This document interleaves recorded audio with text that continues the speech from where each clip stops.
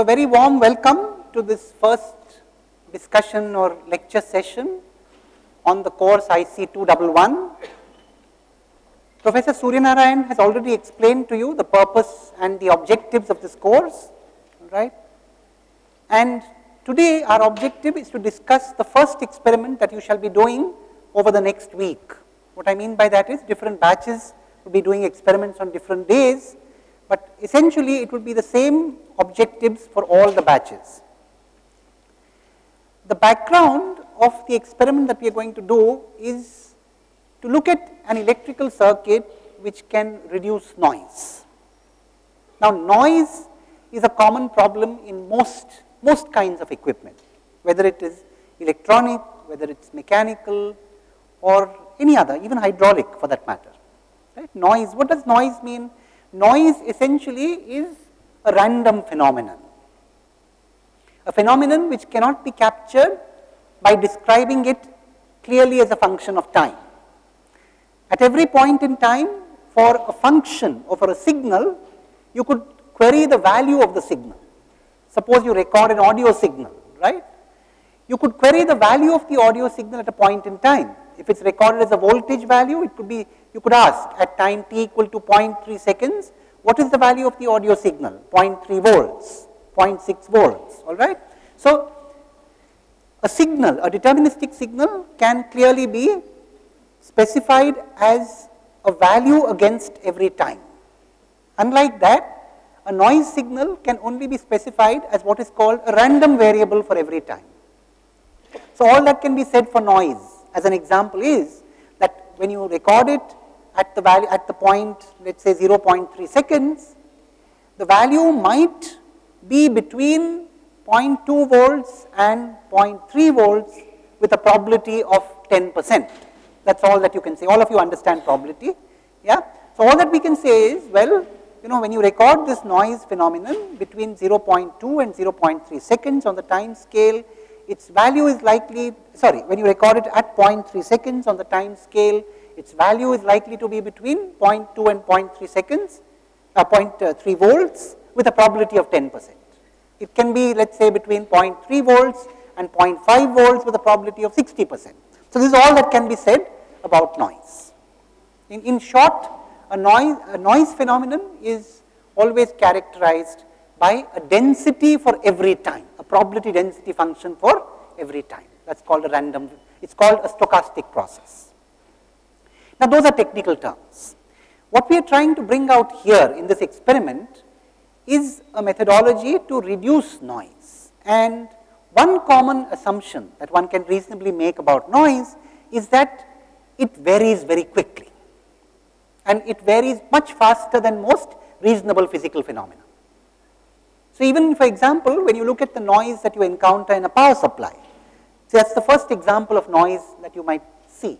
If you were to look at, you, you think the power supply is 50 hertz in frequency, but if you were to actually monitor the waveform on, a, on, a, on an oscilloscope, on a display device, you would see that it is far from being a sine wave exactly. It has a lot of fluctuation about the sinusoidal pattern, all right.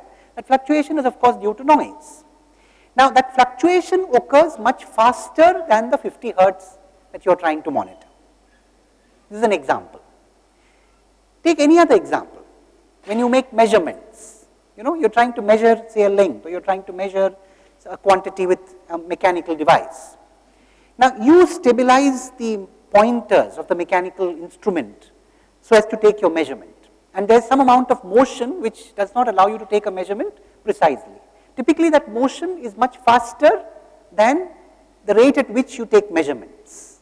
And therefore, that is another example of a situation where the noise phenomenon is much faster than the phenomenon which you are trying to observe. This is in general, this is very often, I would not say it is always the case, but in most situations that one would encounter at least as a beginner, one would see that the noise phenomenon is much faster than the so-called signal phenomenon or the phenomenon which you are trying to measure, observe or study.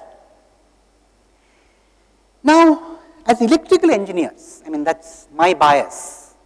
Uh, incidentally, I should have introduced myself. So, uh, you know, my name is Vikram M. Gadre, I am a faculty member in the Department of Electrical Engineering and I am going to be supervising your first experiment which as you can see projected here relates to noise removal or noise reduction. And as I said, you know, with, the, with, with an electrical engineer's bias, we tend to think of most signals as a linear combination of sine waves. So, we say as long as we have reasonable signals to deal with, by reasonable I mean most of the signals that you would encounter in practical life, in ordinary life, right. Most reasonable signals can be thought of as a linear combination of sine waves. What does that mean? It means that I can think of them as, instead of describing them as a function of time, I could describe it as follows. I could say, well, so you know what I am trying to bring out in, in short, very briefly, is the idea of a different domain in which you can describe a signal. So one way to describe a signal is this, time, value.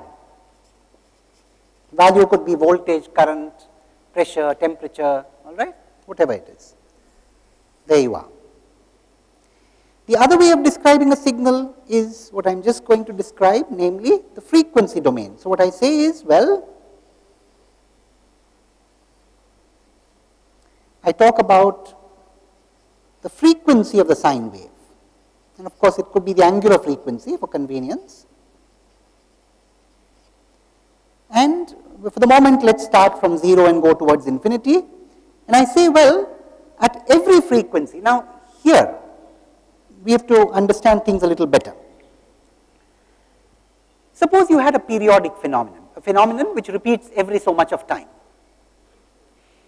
Many of you would probably be exposed to the idea of harmonics, right? So, for example, what, what really is a harmonic? Well, a harmonic is a multiple of the basic frequency.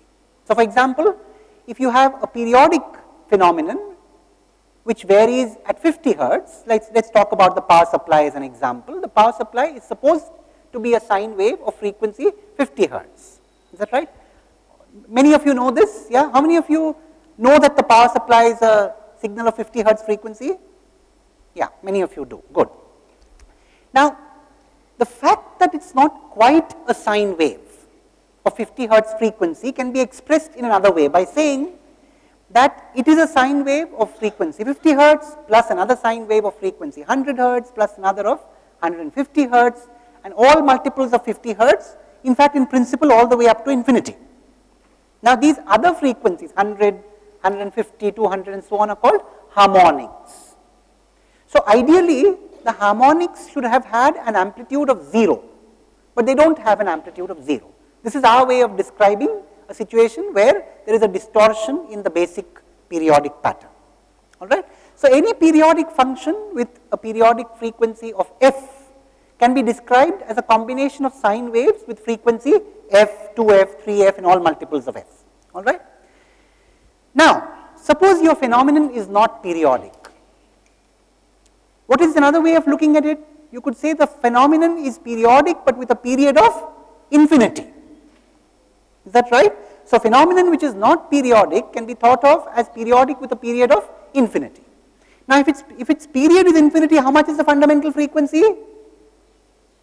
0. Is that right? So, that means that when you go from periodic to aperiodic phenomena, you are coming from fundamental frequencies which go towards 0. That means instead of dealing with a discrete set of frequencies, f, 2f, 3f and so on, you are now dealing with the continuous frequency axis. Is that clear to everybody? Yeah, anybody to whom this is not clear? So don't, don't uh, hesitate to raise your hands. So I'm saying that if you have an aperiodic phenomenon, phenomenon which is not periodic, you could think of it as a sum of many sine waves, but the, fundamental frequency tends to zero, which means the sine waves now have frequencies that are continuous. Is that right? So instead of a sum, you have an integral. That's that's a that's a technical detail. What it means is I must describe this phenomenon in terms of a continuous axis now which starts from 0 goes towards infinity. And what is the, now this axis, actually there are two functions to, to be described here. There is a magnitude function and there is a phase function. So, let us say for example, this is the magnitude function and let us say this is the phase function.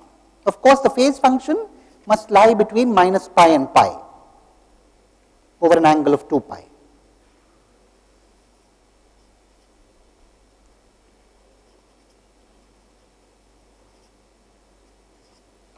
So, of course, I said this must be between pi and minus pi. So, you could have some kind of a phase function, does not matter what it is. I have just drawn something here. I am just trying to bring out the physical interpretation. What is the physical interpretation? For example, if I were to pick this frequency here,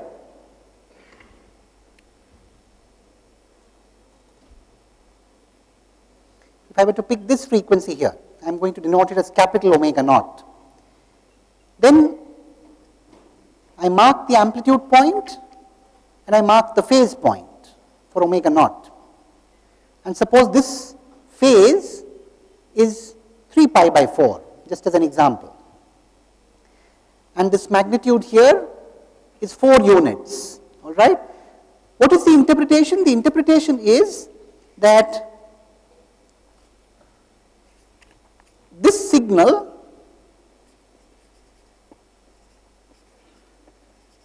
includes sine waves of frequencies around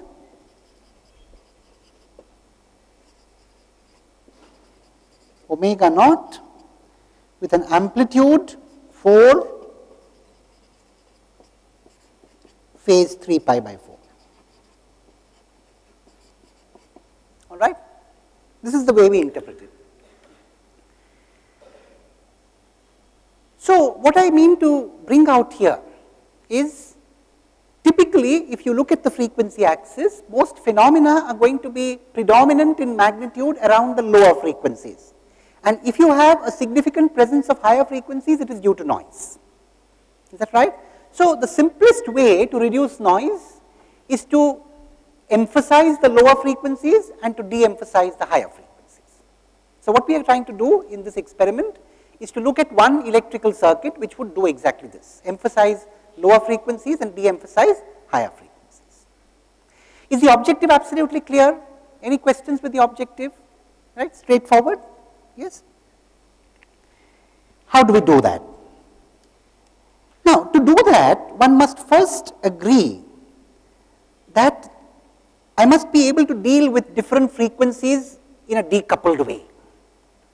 That means I must be able to say definitively what this particular circuit does to a sine wave of a particular frequency.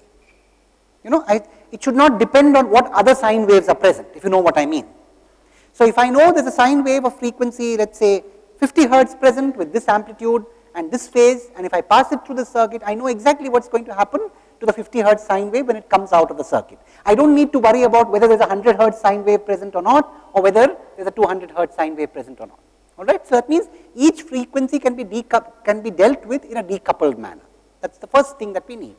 What does it mean? It means that if I were to give a sine wave as an excitation, as an input voltage, the output in every part of the circuit must also be a sine wave of the same frequency. Is that clear? Right. So, we must first build a circuit where if I gave a sinusoidal input of a certain frequency, the output must be sinusoidal everywhere in the circuit. The voltage current everywhere must be sinusoidal of the same frequency everywhere in the circuit. What could change at different places is the amplitude and the phase.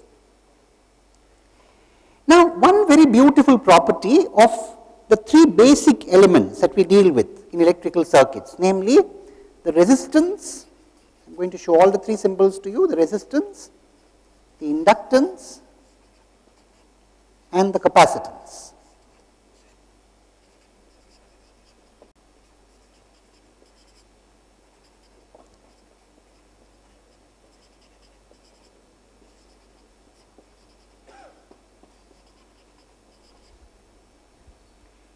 is that they obey this property.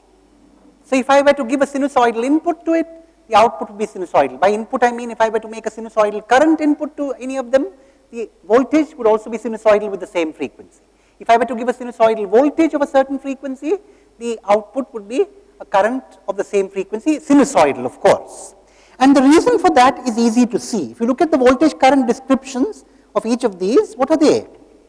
The resistance is described very simply by V is equal to IR or let me write everything as a function of time. So, Vt is R times It resistance.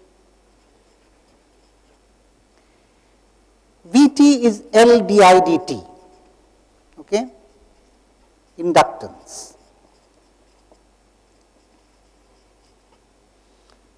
dVt dt times C is IT for a capacitance. All right, simple. Now, what is the beautiful property that all these circuits enjoy? All of them relate the voltage and current either proportionally or through a derivative. Now, when you take the derivative of a sine wave of a certain frequency, it also results in a sine wave of the same frequency. When you add two sine waves of the same frequency, they become a sine wave of the same frequency. Is that right?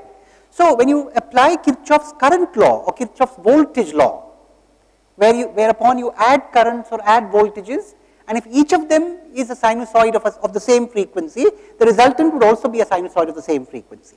If you take the derivative at any point, it's still a sinusoid of the same frequency. And this is the reason why if you construct a circuit out of resistances, inductances and capacitances, and if you were to excite it with a sinusoidal source, the resultant is a sinusoid all over the circuit.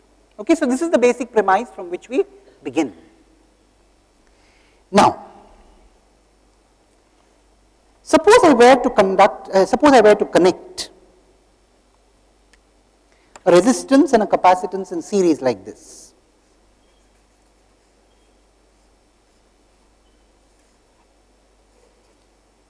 I wish to excite here, excite this pair of terminals with a sinusoidal source. So, let me, you know, let me write it down. Let me call the source, say, V0 cos omega naught t plus phi naught.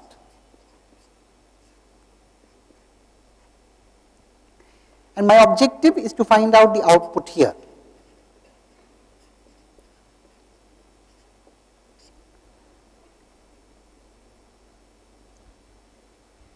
Now, the first thing to do is to establish a methodology for obtaining this output. How do we analyze a circuit like this?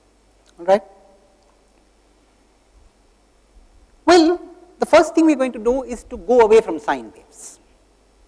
So, what we are going to do is to agree that if you have a rotating complex number, so now pay careful attention. This is a slightly tricky principle, but not too difficult once you pay attention.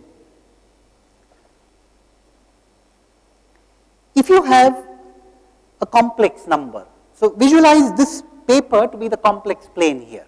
This is the origin of the complex plane.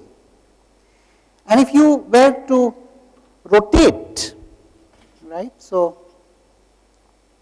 a complex number with a magnitude of V naught and an initial angle of phi naught at an angular velocity of omega naught in the counterclockwise direction, then its projection on the real axis is indeed a cosine, a cosinusoid, isn't it? What is its projection? So, how is this complex number described? It's V naught e raised to the power j. So, all of you are familiar with this representation, right? The polar representation, I am sure. So, omega naught t plus phi naught. Everybody is familiar with this representation? Anybody not familiar with this representation? All right. Anybody not familiar? No. Now, of course, it has a real and imaginary part. The real part is, is, is what we started off with here. All right. Now, what we are going to do is to work with this instead of the original sine wave. And you will see the reason soon why. Okay. When we take the derivative of a sine wave, it is indeed a sine wave of the same frequency, but the derivative is not proportional to the original sine wave. You see what I mean? Let me, let me illustrate by contrast. On the other hand, if you were to take this complex number, so let us call this as a function of t, x of t. If you were to take dxt dt here,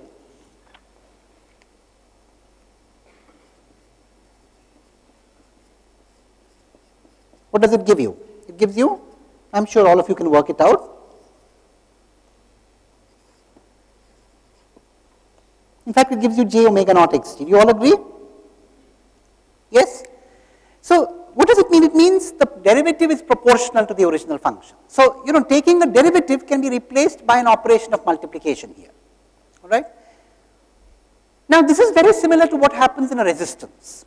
So, for example, suppose you had an inductor. Suppose this were the current, you know, suppose you had xt as the current in an inductor. Let's take an example. Suppose the suppose the current of an the inductor had a current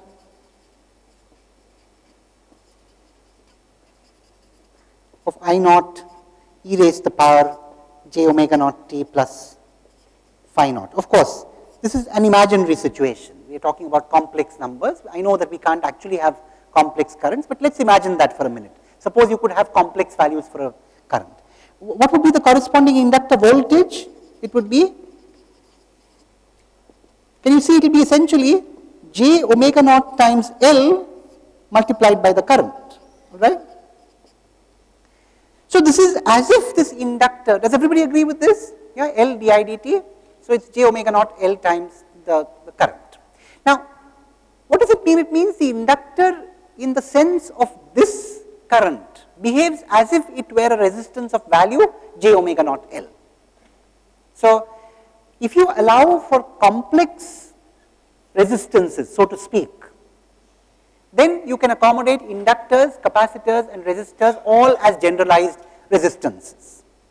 Similarly, what would, so therefore, if you, you know, if you want to generalize this idea of resistance to the context of inductor and capacitor, the first thing we should do is to use a different name, right. So instead of calling these things resistances, we'll call them impedances, right. So we'll talk about impedances now. In fact, the word impedance has the same broad connotation as the word resistance.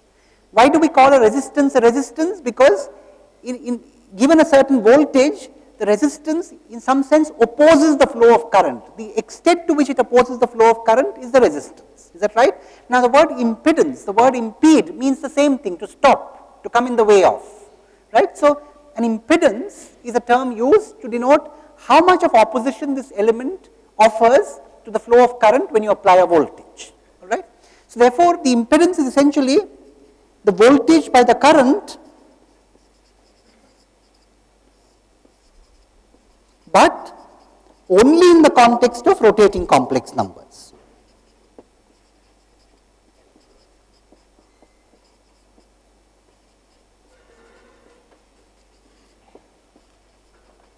I am expecting that you are taking down, that is why I am writing it there.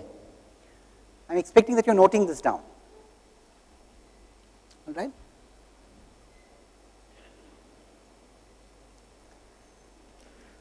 Now, these rotating complex numbers are also given a name in electrical engineering. They're called phasors.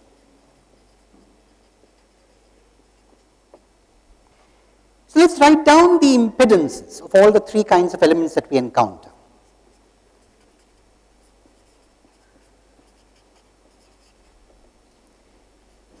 R has an impedance of R. An inductor has an impedance of j omega naught L. A capacitor has an impedance of 1 by j omega naught C.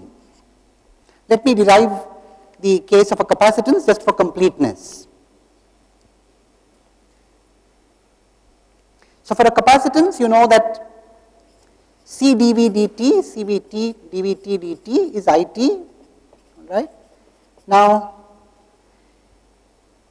if IT is of the form I naught e raised to the power j omega naught t plus phi naught, then Vt can essentially be obtained by integrating 1 by c integral. Let's take the indefinite integral for the moment. And you could then work out, I mean I leave it to you to work out Vt by It and show that it's equal to 1 by j omega naught c. So now we have an easy situation to deal with. You have this resistance and inductance and uh, resistance and capacitance in series, all right? And you have a sine wave which you've applied.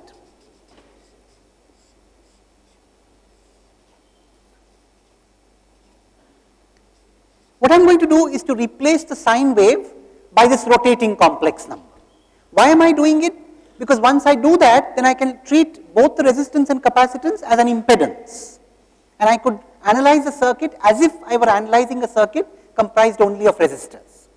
Okay? What would be the so-called impedance of this capacitor? 1 by j omega c as a function of omega, of course.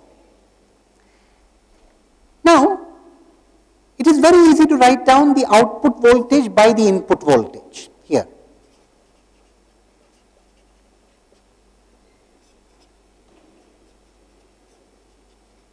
The output voltage by the input voltage is how much? That's very easily done by using the voltage divider principle.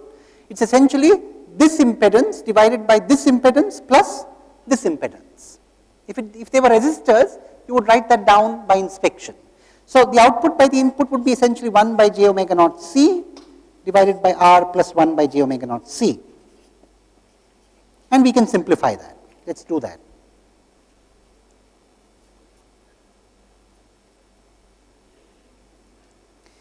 So this is this ratio of the output to the input is called the transfer function of the circuit. It's also called the frequency response of the circuit. And we'll understand in a minute why. What is the frequency response of the circuit? Is one, one can simplify it, it's 1 by 1 plus j omega naught CR. All right? What does this physically mean? This physically means two things. So this frequency response is a complex number, right? Let's give it a name. Let's call it capital H of, it's a function of omega naught. Assuming that the value of the capacitance and the resistance are fixed, it's a value of capital omega naught. Now, let's plot the magnitude and the angle of h omega naught. In fact, it's really the magnitude in which we are interested. So let's look at the magnitude, magnitude of h omega naught. Let's forget about the angle for the moment. How much is it the magnitude? It's essentially 1 by 1 plus omega naught squared c squared r squared under root, positive. All right, let's plot this as a function of omega naught. So now, you know, visualize the physical situation here. I have this resistance and capacitance connected in series. I have the flexibility of connecting a voltage source which is of a sinusoidal nature at the input and I have a flexibility of moving the knob of frequency to change the frequency. That's the physical situation. And I want to find out how the output amplitude varies as a function. I, I can assume that the input amplitude is held constant. So at the input I have a sine wave generator which generates a sine wave of a fixed amplitude. So I can ensure the amplitude remains constant and I change the frequency and I'm interested in seeing what happens to the output amplitude as a function of frequency. Simple. So let's plot that. It's very easy to see at omega equal to 0, of course, the amplitude is 1.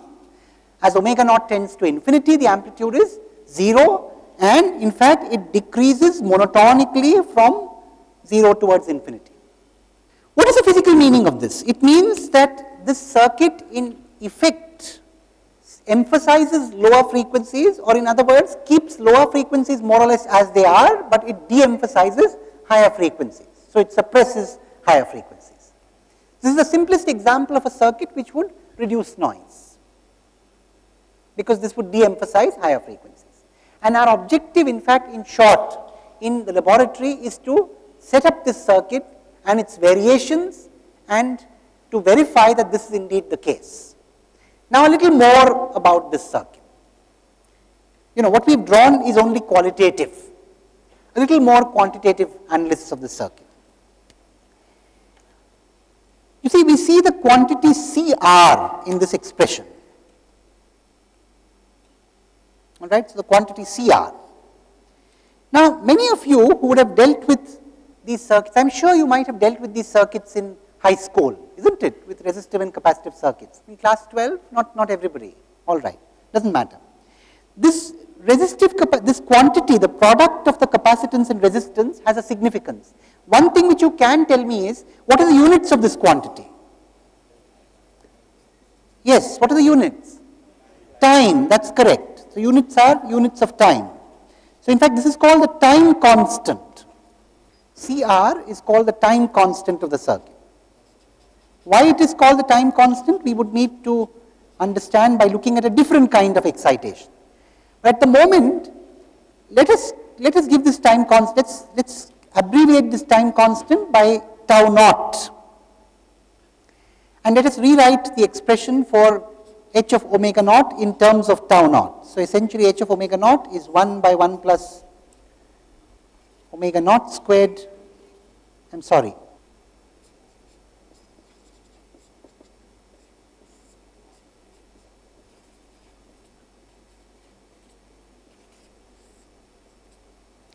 So the question is, you see, the units of 1 by tau naught are going to be angular frequency, essentially radians per second. So, so what is it has, what, what happens at the frequency 1 by tau naught? Right? So at capital omega equal to capital omega naught equal to 1 by tau naught, what is the magnitude h omega naught? It's 1 by square root of 2. What is so special about 1 by square root of 2? Now, if I have a sine wave of amplitude A, suppose you thought of this sine wave as a current signal going through a resistance. How much is the power consumed by the resistance? Suppose the resistance is of value 1 ohm. How much is the power consumed by the resistance? The square of the sine wave, is that right?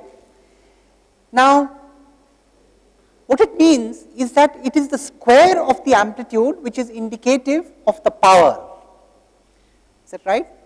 Now, so you see, what is it that determines the, the power? How, how does the power relate to the amplitude? It relates to the square of the amplitude. Is that right? So, Essentially, if I were to multiply the amplitude by 1 by square root of 2, what would happen to the power? It would come down by a factor of 2. So therefore, this point where the amplitude becomes 1 by square root of 2 has the significance of bringing the power down by a factor of half. So it's called the half power point.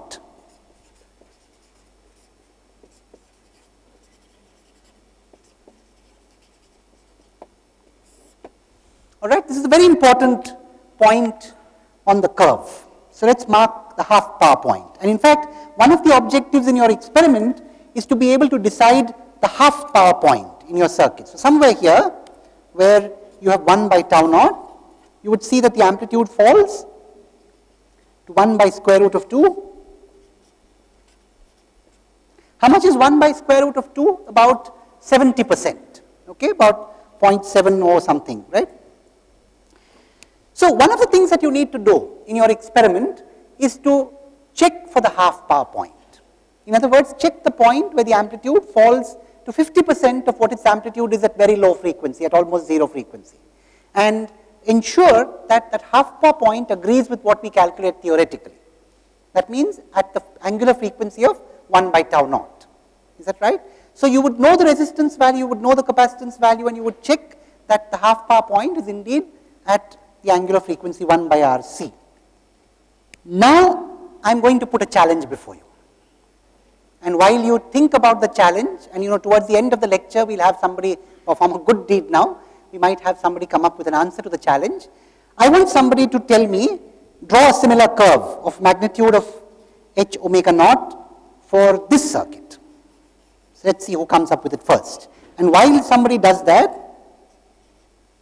so he or she would be asked to come and discuss it here in front of the audience. That's a reward. But while you do that, I'm going to discuss a few other things. I'm going to show you some of the things you're going to use tomorrow. How do you set up such a circuit? So to set up such a circuit, you're, you're going to use something called a breadboard. This is a breadboard. A breadboard, you know, because it gives that impression of slices. Anyway, now, notice in this breadboard, please look at the markings of terminals very carefully in the breadboard. You notice there are several apertures here, like this. I'm, I'm marking the apertures with, with my, or maybe I, I should mark it with, you know, so I, what I'll do is, I'll, I'll sort of mark it this way, so you will see the apertures. These are all apertures, small holes. And these holes have metal inside, right? Now, you must understand in the breadboard that this from here to here. Now you see a W, don't you? It's not maybe it's not it's not visible to you. But you know in, in between when you look at the breadboard closely, you'll see a W here in between at this point, right? In the middle on the top row and you will also see a W here.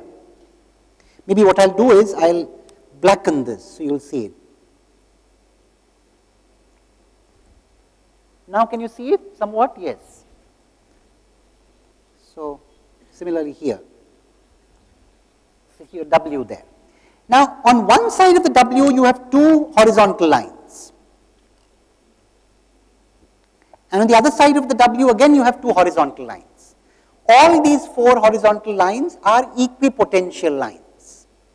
So they are all at the same potential. That means they are connected metallic with a metal, with a metal line metallically.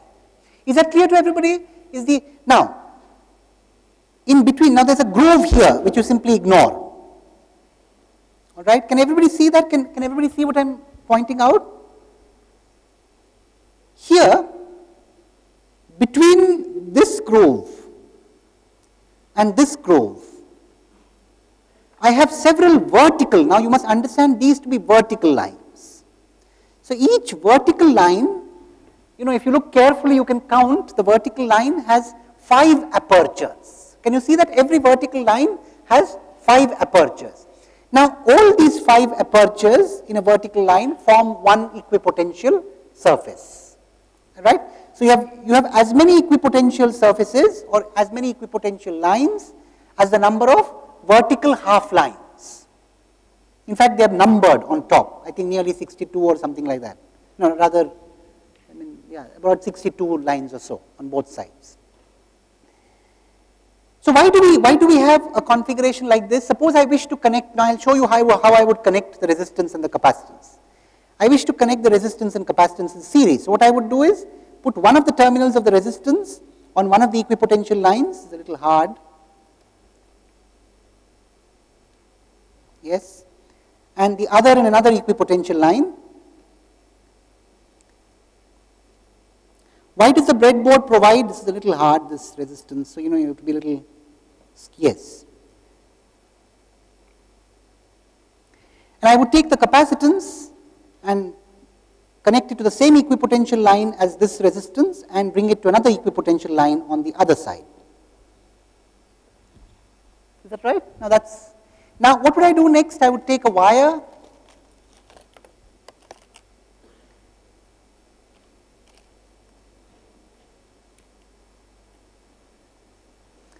I would allow this wire, now you see, I would connect the wire to the input of the resistance.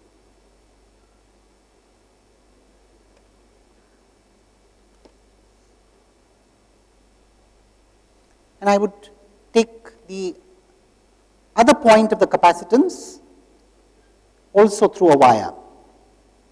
Maybe I should, yeah. So now what do I have here? I am holding the yellow line and the, the green line. So effectively if you look back at the circuit here, this is the yellow line here. Oh sorry, not, not on this. Yeah, all right. Let me draw it on another piece of paper. So I have resistance and capacitance. This is the yellow line here and this is the green line. Is that clear? Does everybody associate the electrical connection properly now? Yeah, everybody clear? So what would I do? I would take this circuit which I have mounted on a breadboard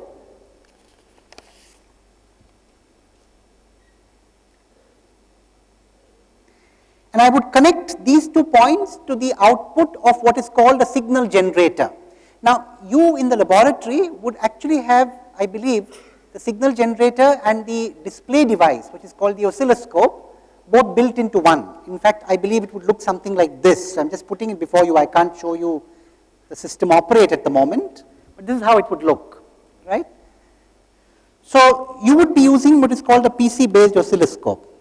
What is an oscilloscope? An oscilloscope is a device where a beam responds to the input voltage in such a way that the motion of the beam corresponds to the way in which that voltage varies in time. Right? So in other way, in other words, it's a graphical conversion of an electrical voltage. Right? Essentially it depicts an electrical voltage graphically. So what would you do in your experiment? You would actually connect a signal here between these terminals, a sinusoidal signal, and you would hold its amplitude constant and vary its frequency. And you would then study how, now you need to take one more wire to look at the output. So I'll take a red line here.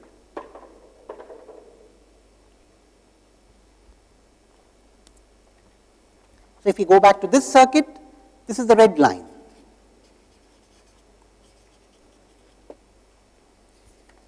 All right. And the oscilloscope would be connected so what you see here is the output between this between the red line and the green line. And to take the correspondence with the original circuit, and I am spelling this out very clearly so that you have no mistakes tomorrow. Is that right? This is the electrical point at which we are looking. So that's about how you connect these. So it's a simple experiment. Now this is the basic experiment.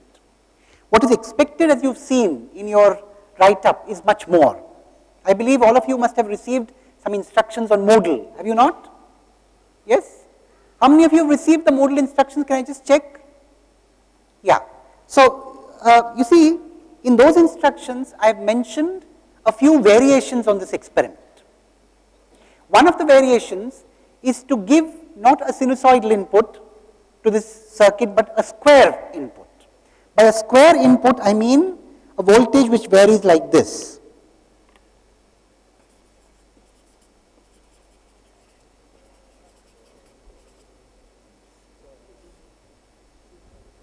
Oh.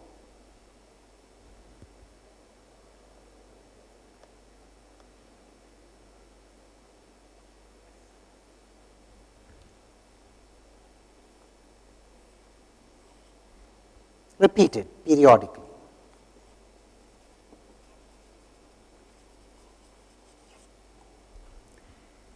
What I would like you to study and as a challenge explain if possible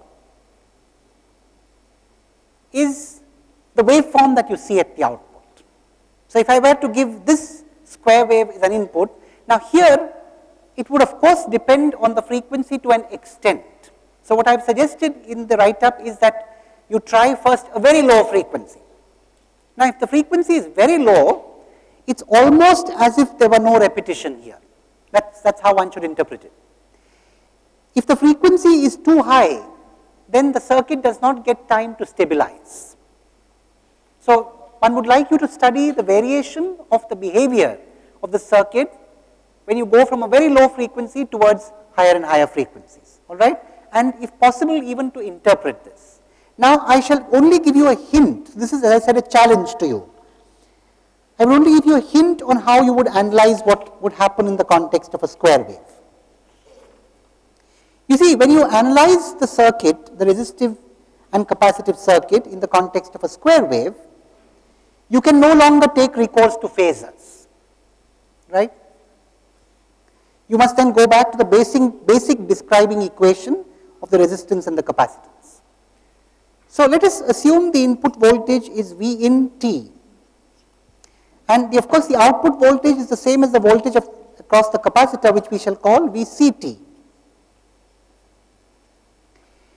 Now, what can we write as an expression for V in T in terms of VCT?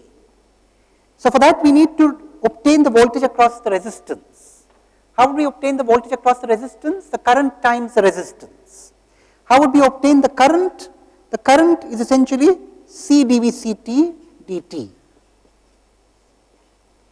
If you were to multiply this by the resistance, it's the drop across the resistance plus VCT gives you VNT. So you have a differential equation describing VCT. Now, of course, many of you are familiar with how to solve a differential equation of this kind. This is the first, this is an example of a situation where a differential equation gives you beautiful insights into the behavior of the system. So now the hint is solve this differential equation with V in t equal to the kind of waveform that you have. In fact, assume that that waveform does not repeat first. So VCT is 0 initially and suddenly becomes a certain value after a point in time and study how VCT varies as a function of time with this input. So that's the hint and try and correlate what you come out with as an answer to your differential equation with what you see on the oscilloscope screen when you do the experiment. Is that right? So not only does this experiment teach you about the frequency response and how such a circuit can be used to suppress higher frequencies and emphasize lower frequencies, it also teaches you how to correlate the behavior of a system which is described by a differential equation with what you see is an input output pattern. Right? So you have here an example of a system comprising of a resistance and a capacitance excited by a certain input function and the differential equation that describes the system is known and therefore you are expected to also explain the output and all this is a part of measurement and instrumentation, right. When you deal with systems in measurements and instrumentation, you must also be able to model the system. And what we have here is a model for the system and when you have a model for the system, you also sometimes know how the system would behave with a certain input. You can predict the output and verify that behavior experimentally. All right. So these are all the objectives of this experiment. I have also given you one more variation in the write-up that I have sent on Moodle, and that's a further challenge. Suppose I were to make the circuit a little more complicated by putting two more elements. What would happen? Right? I have given that as a part of the. That's all. These are to test to stretch your imagination a little. Now, a few remarks about how one reads resistances. So if I were to, now you, you have this resistance in front of you. Yeah, you've connected this resistance here. You want to find out the value of the resistance. So how do you do it?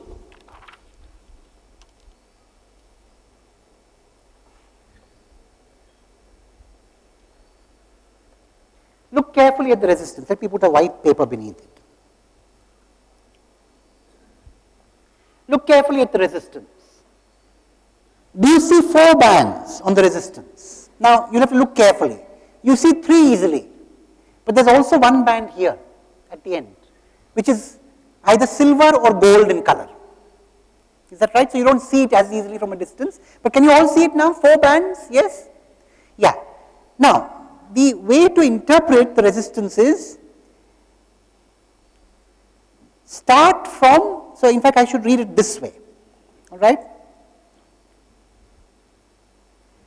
Think of each of these bands as a color code for a digit. The digits can be between 0 and 9. Is that right? So you have three digits there. Let's call the three digits A, B, and C.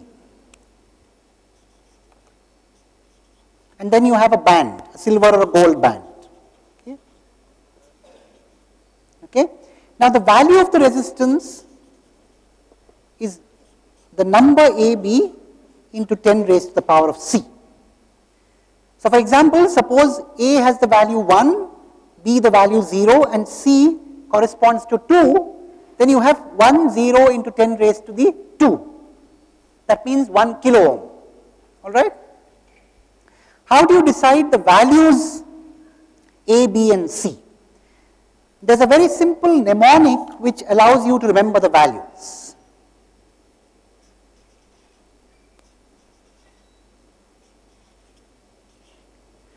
B.B. Roy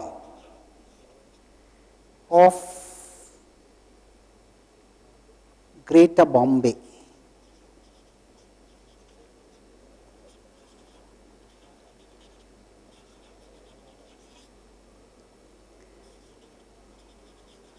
had a very good wallet.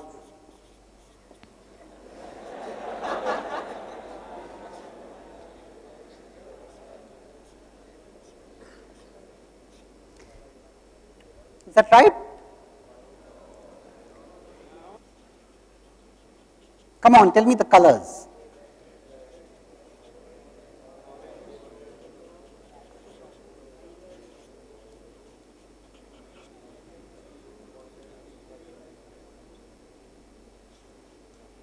I forget, I have to check, I think it's green.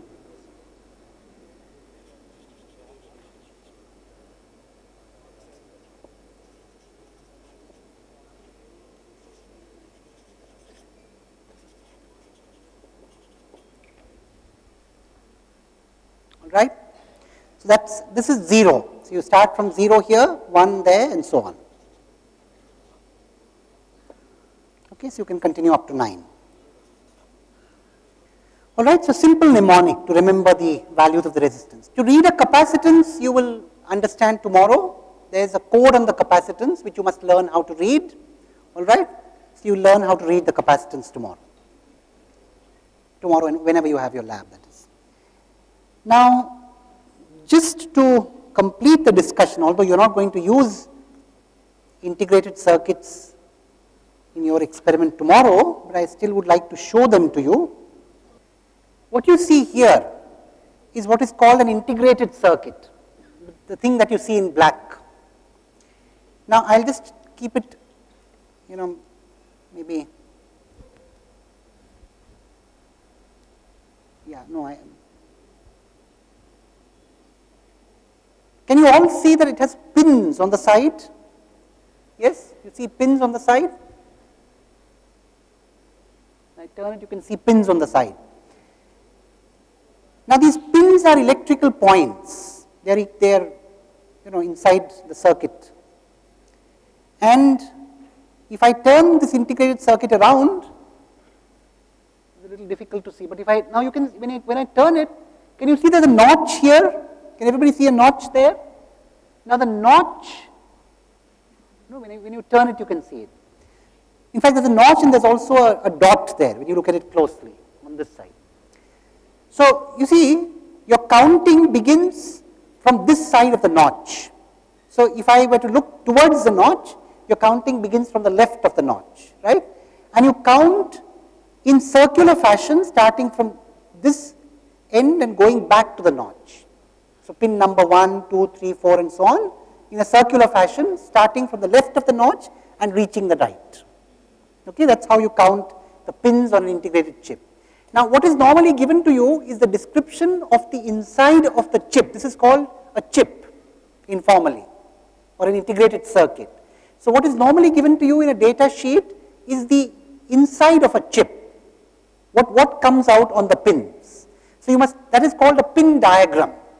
So, you must learn to read a pin diagram and use the pin diagram to connect your chip properly, all right, in a circuit. So much so then for connection of circuits and uh, for your RC circuit experiment tomorrow.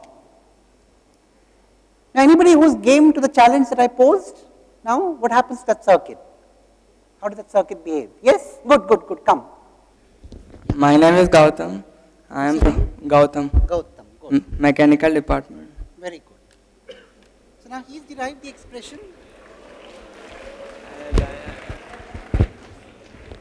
So write down the expression straight away.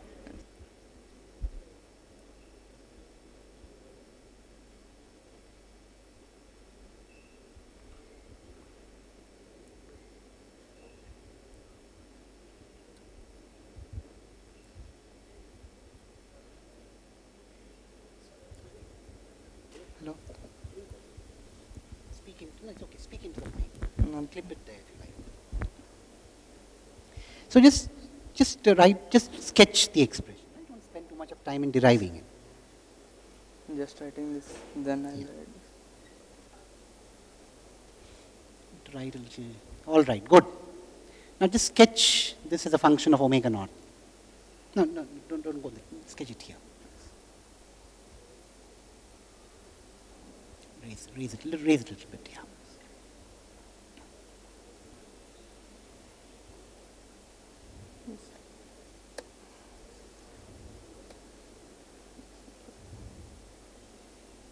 It's 0 at omega naught equal to 0, this thing will be infinity, so 1 by infinity right, is yeah. 0. So when omega naught tends to infinity, this thing will tend to 1 and when omega naught is 0, this tends to infinity, so 1 by infinity is 0. That's right. So, So the graph will be something like this good, very good. That's correct. and the derivative I wrote here comes around like this. That's all right. That's fine. Good, very good.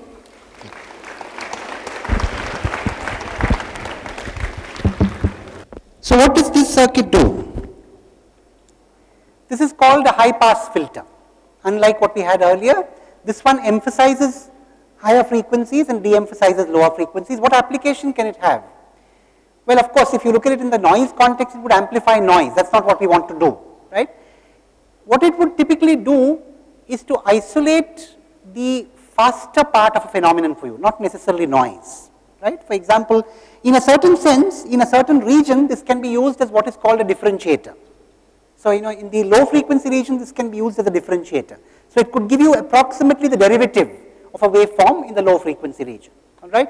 So, this is, you know, in the, in the low frequency region. So, in a certain frequency region, it could act as a, as a, as a differentiator, all right? That's nice.